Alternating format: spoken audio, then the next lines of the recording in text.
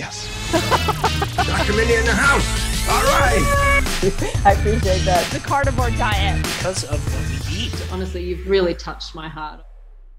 Think about your most exhausted self because that's the thing. We all think about our future selves as being perfect, having ironclad willpower, you know, never really giving into temptation, being able to resist everything. But like we live in the real world, we're going to get in an argument with someone, we're going to get, yeah. be tired at some stage, we're going to be in a bad mood at some stage, you know, we're going to be hungry at some stage. All of these things are going to affect us.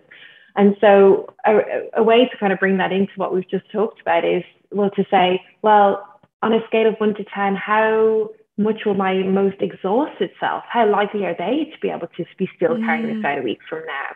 Or my most depleted self, or my most fatigued self, or my most stressed out self? Interesting. You know, because if you know you've got a week coming up, there is absolutely no point in setting up your habit in a way that you can only do it if circumstances are perfect because welcome to life, that's never going to happen.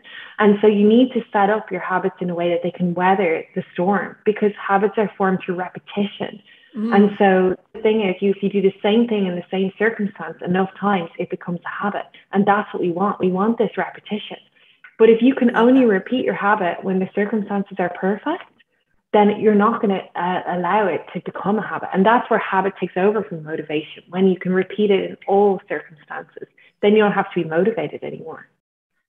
Wow. Okay. So if I go to uh, that's that I love it and my brain goes to if my exhausted self can't even get out, off the couch, mm. uh, she's not going to want to go for a walk. She's she's not going to really. She's going to want to eat something that is going to give me a dopamine rush as opposed to something that is just going to be good for my my body so i might not want to eat healthy like mm. what if the exhausted self is depressed and like how do i how do i create a positive habit for her mm. if that depleted state feels so low?